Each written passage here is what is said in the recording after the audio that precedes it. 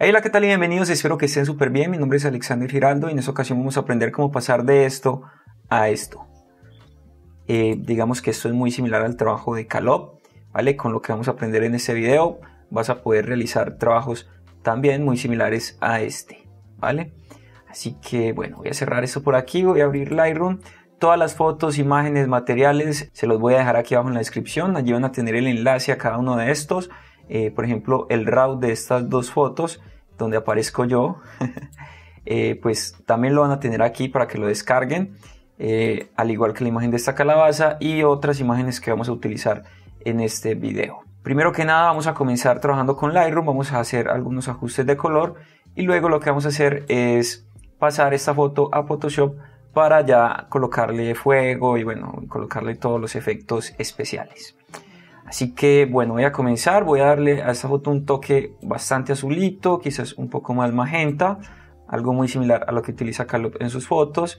Voy quizás a subexponer un poquito, voy a quitarle un poquito de exposición, voy a quitarle fuerza a las altas luces y voy quizás a quitarle fuerza a las sombras, voy a aumentar la fuerza de los blancos y le voy a quitar fuerza a los negros. Ahí lo tenemos. Eh, vamos a aumentar también un poquito la claridad, en este caso quizás un más 24 podría estar bien, más 26. Y voy a aumentar también la intensidad del color. Ahí lo tenemos. Eh, voy quizás a quitarle fuerza a los magenta. Y luego voy a irme aquí a saturación voy a aumentar la saturación de los naranjas, voy a aumentar la saturación de los agua marina y voy a quitarle saturación a los azules. Eh, vale, me gusta bastante cómo se ve ahí. Voy a irme luego aquí y voy a darle un toque orange llevando el primario azul hacia este lado a menos 29. Ahí me parece que está bastante bien. Por último lo que voy a hacer es agregar una viñeta en la foto para darle un ambiente un poquito más oscuro para ello simplemente llevo esto hacia este lado y si te fijas se me aplica una viñeta alrededor. Sin embargo quiero que esto se vea muchísimo más oscuro, ¿vale? Ahí. Y bueno, algo más o menos como esto podría estar bien.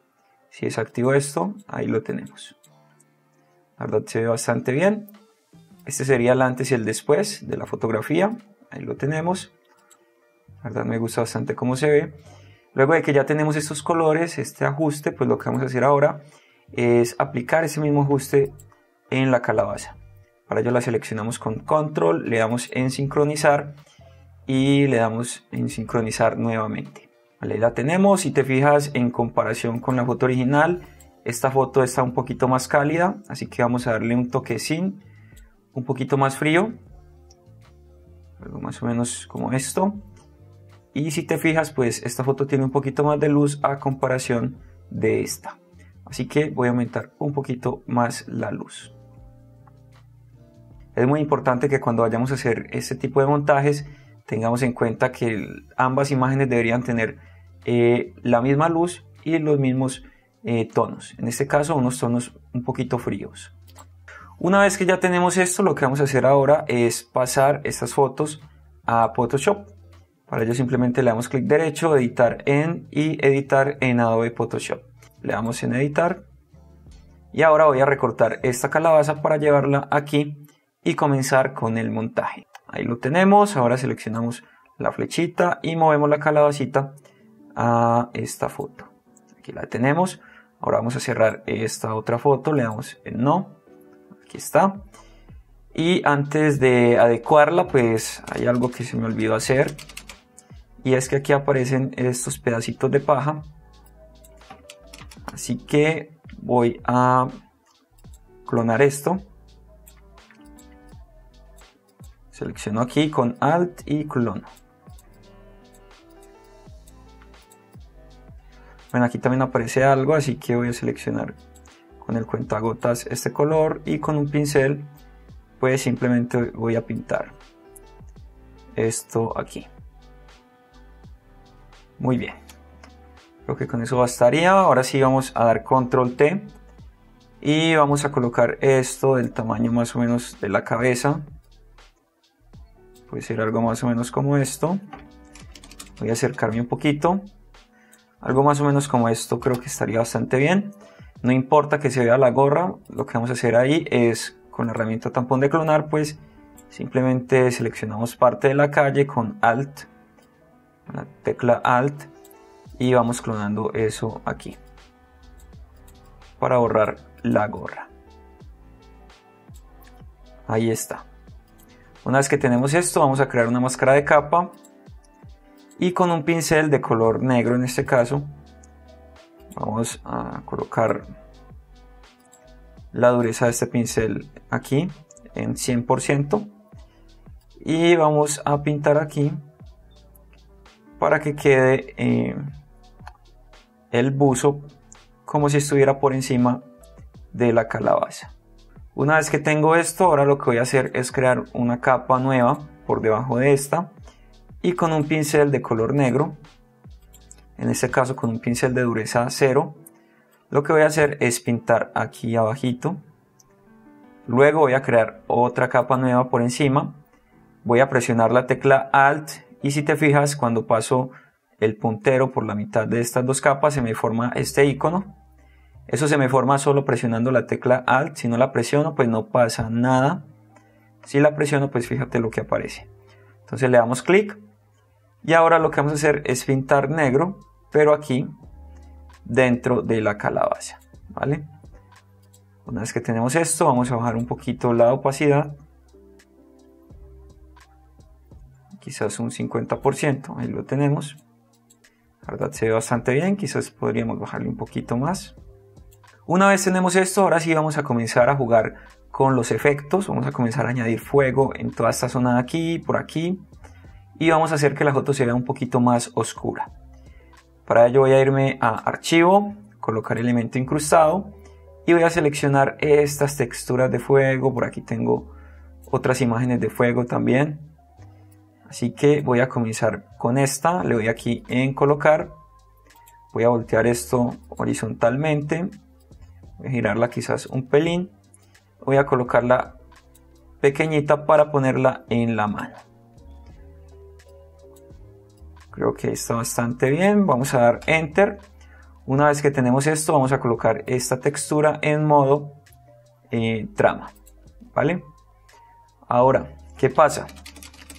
Que si nos fijamos, pues este efecto de fuego se ve un tanto transparente, si yo lo coloco en un área que está más oscura, pues fíjate cómo se ve bien. Pero aquí como hay bastante luz todavía, pues sí que se ve eh, un poquito transparente. ¿Qué voy a hacer para eso? Pues muy sencillo. Voy a irme a imagen, ajustes, niveles.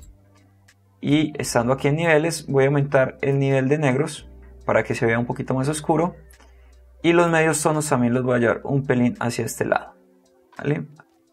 Algo más o menos como esto. Voy a exagerar quizás un poquito más el nivel de negros y le voy a dar en OK. Una vez que tenemos esto, vamos a crear una máscara de capa y con un pincel de color negro. Lo que quiero es que el fuego se vea como si estuviera dentro de mi mano, así que voy a borrar el fuego de aquí de estos dedos. Algo más o menos como esto, aquí también. Y como puedes ver así se va viendo el fuego dentro de la mano.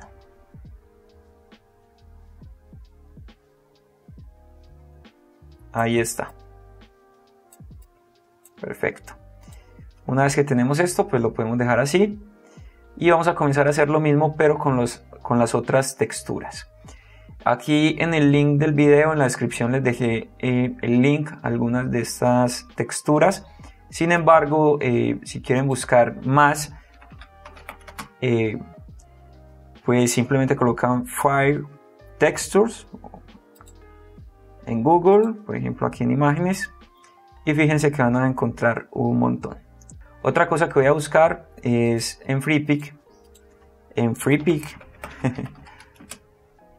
que incluso ya las tengo por aquí descargadas, son eh, estas texturas de fuego que parece fuego con magia, ¿vale? Con chispitas, que la verdad me gusta bastante cómo se ve.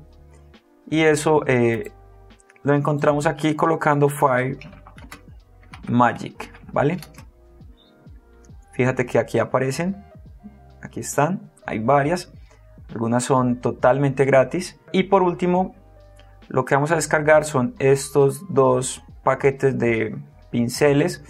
Uno es de niebla y el otro es un paquete de pinceles de humo, ¿vale? Eh, los links a estos paquetes de pinceles también los tienen aquí abajo en la descripción, así que eh, allí tienen todos los materiales. Eh, bueno, voy a comenzar entonces trayendo aquí, por ejemplo, estos fueguitos que son como mágicos, ¿vale? Que se ven bastante chulos, que son estos que tenemos aquí. Y voy a utilizar principalmente este de aquí y este de aquí. ¿Para qué? Pues para darle eh, a esta calabaza un toque mucho más interesante. Entonces voy a colocar esto quizás un poquito más pequeño, voy a dar enter y voy a hacer lo mismo con esta imagen para que eh, no se vean estos cuadritos del fondo, voy a irme a niveles y voy a aumentar los negros. Ahí lo tenemos, le damos en OK, voy a colocar esto en modo de fusión trama, ahí está. Y voy a ocultar toda la máscara. En este caso voy a ubicar esto primero que nada aquí en el ojo. Doy control T. Voy a girarlo un pelín. Y quizás a ponerlo un poquito más pequeño.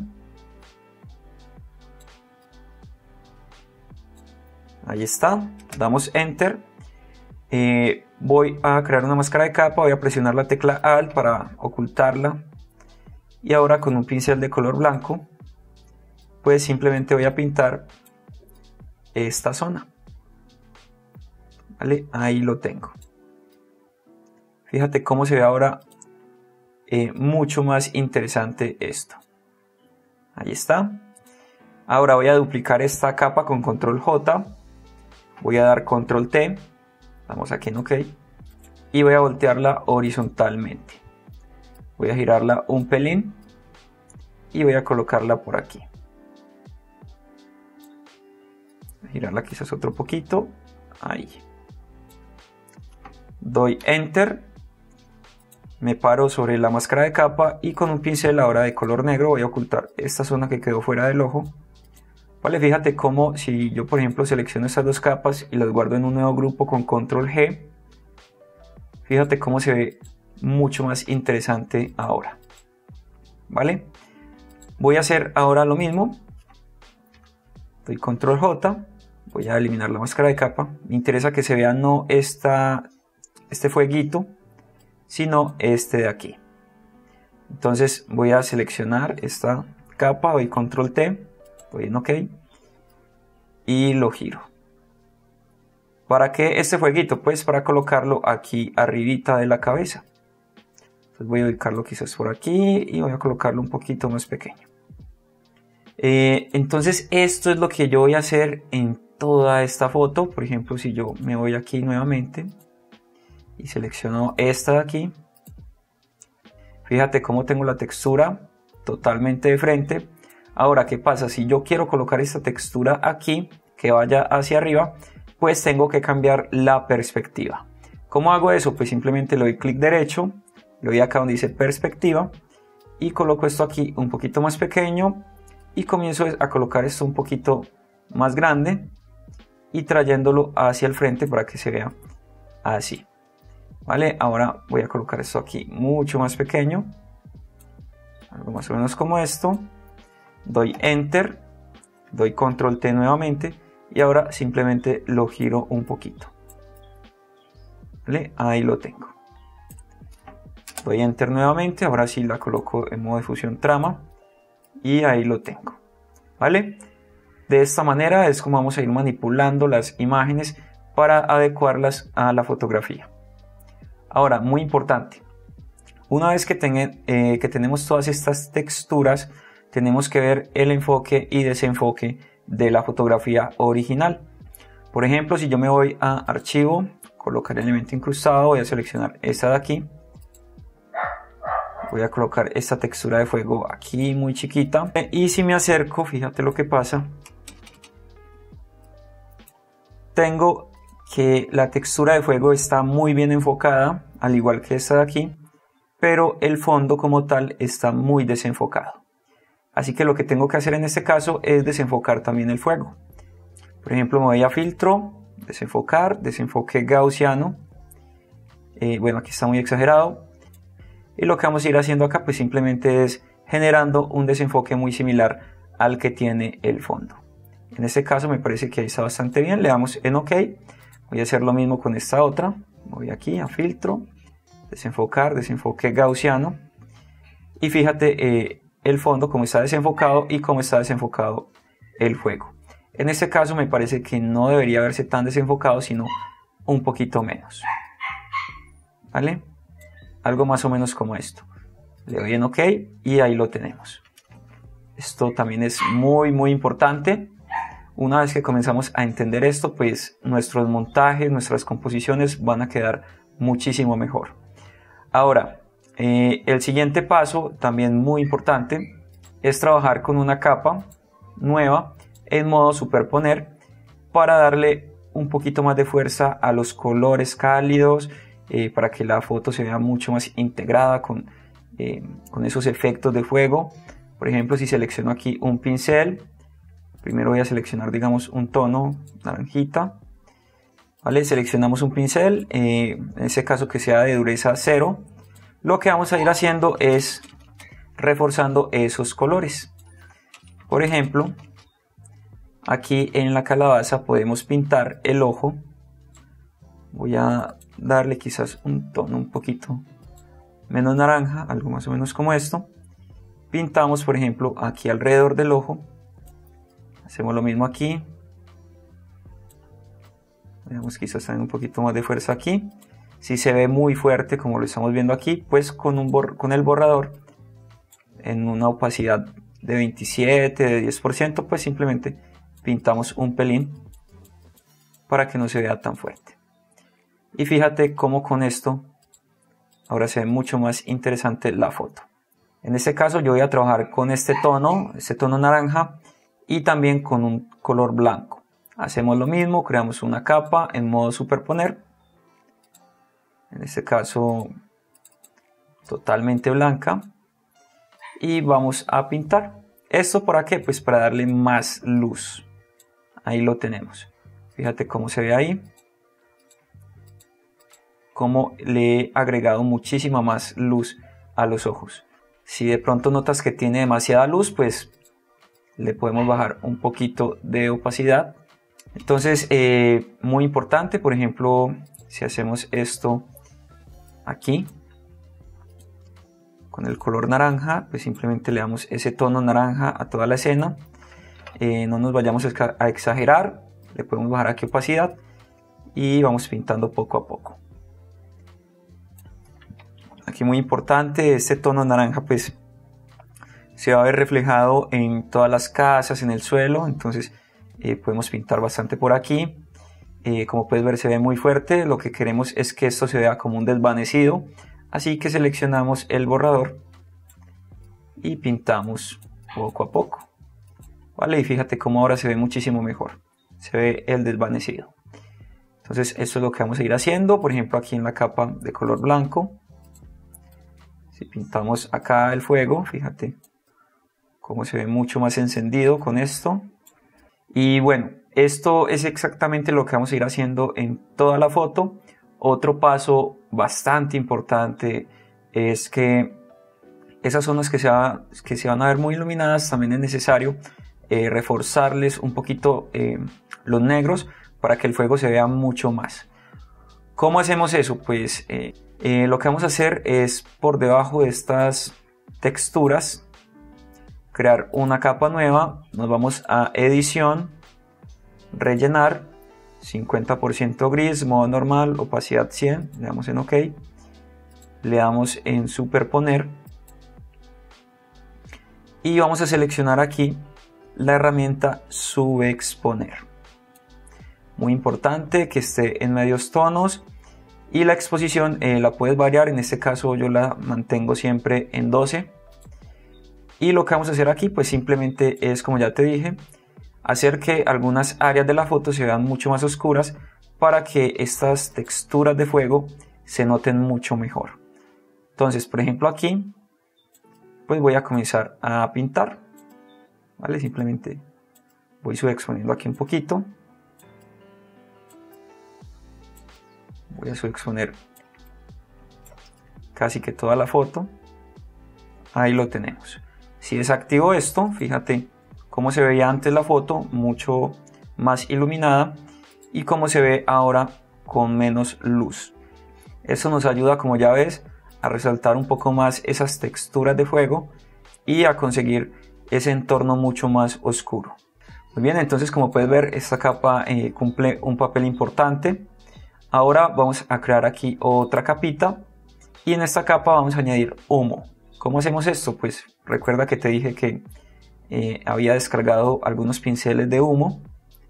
Entonces, si yo selecciono aquí la herramienta pincel, voy a colocar un color negro. Y si yo pinto aquí, fíjate, ahí lo tengo. Voy a añadir quizás otro toque, pero un poquito más gris. Ahí está. Ahora voy a seleccionar esta capa y la voy a ampliar un poquito más. Ahí está. ¿Qué pasa con esto?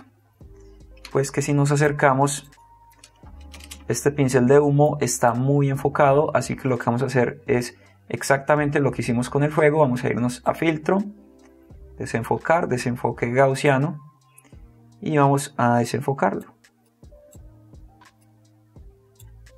Vamos a desenfocarlo mucho. Ahí está, le damos en OK. Y este es el humo. No sé si alcanzas a notarlo, ahí está presente. Si de pronto notas que se ve demasiado, pues le puedes bajar un poquito de opacidad, ¿vale? Y ahí está. Entonces también vamos a jugar con ese pincel de humo. Muy bien, aquí tengo ya el resultado final, añadiendo las texturas de fuego, también coloqué texturas de chispas y con el pincel de humo, pues eh, aquí en esta parte, esto fue lo que obtuve. Vale, la verdad se ve muy bien. Eh, bueno, si por ejemplo desactivo cada una de estas carpetas y desactivo por ejemplo la carpeta de las texturas de fuego, ahí lo tenemos, así es como se ve. Si desactivo la carpeta de humo, vale, así es como se ve. Y si desactivo eh, la carpeta de los colores, vale, donde estuve pintando con un color naranja y con un color blanco, pues esto es lo que tengo. ¿Vale? Fíjate cómo solo eh, esta carpeta ya le da un toque bastante cálido a toda la foto. Eh, luego si activo la de humo y la de fuego, pues ahí tenemos el resultado. La verdad se ve muy muy bien. Es de paciencia hacer todo este trabajo. Y bueno, ahora sí lo que vamos a hacer es darle unos toques finales. Para ello voy a crear una capa nueva. Voy a presionar las teclas Control, Shift, Alt y la tecla E todas al mismo tiempo. Ahí lo tenemos, con esto hemos combinado todas las capas en una capa superior. Y ahora lo que vamos a hacer es irnos a filtro de cámara RAW para jugar un poquito con los colores. Así que bueno, voy a bajar aquí a calibración de cámara y voy a darle aquí un efecto orange chantil moviendo el primario azul hacia este lado. Fíjate cómo se ve. Luego voy a darle un toquecito un poquito rojizo a ese fuego, moviendo el primario verde hacia este lado. Y ahí lo tenemos. Ahora voy a subir completamente y voy a darle quizás un poquito de claridad a la foto, un pelín. Voy a irme aquí a la curva de tonos. Voy a añadir un puntico aquí en la mitad, otro aquí y otro aquí. Voy a subir este quizás un poquito voy a bajar este un pelín, no mucho, y voy a subir este puntito de aquí. Ahí está. Con esto la verdad se ve bastante bien. Voy a subir y voy a aumentar quizás un pelín, un pelín la exposición. Quizás voy a colocarle aquí un menos 2 y en matiz voy a darle un toquecín un poquito magenta. Vamos quizás a subir también un poquito más la exposición. Y quizás vamos a aumentar un poquito los negros. Ahí lo tenemos. Si miramos aquí el antes y el después, esa sería la fotografía con las texturas de fuego, el humo y todo el trabajo que hicimos con el pincel. y esta sería la fotografía una vez hicimos los ajustes de cámara RAW y si es activo pues aquí tenemos el antes con la calabaza y el después la verdad me ha gustado muchísimo el resultado espero que les haya gustado a ustedes también recuerden que aquí abajo en la descripción tienen el link para descargar la fotografía descargar los otros elementos también para eh, realizar esta composición Espero que les haya gustado como ya dije, si es así no olviden dejar un like gigante, suscribirse para que estén al tanto de nuevos videos, comentar y compartir. Y bueno, pues no siendo más, nos vemos en un próximo video. Chao, chao.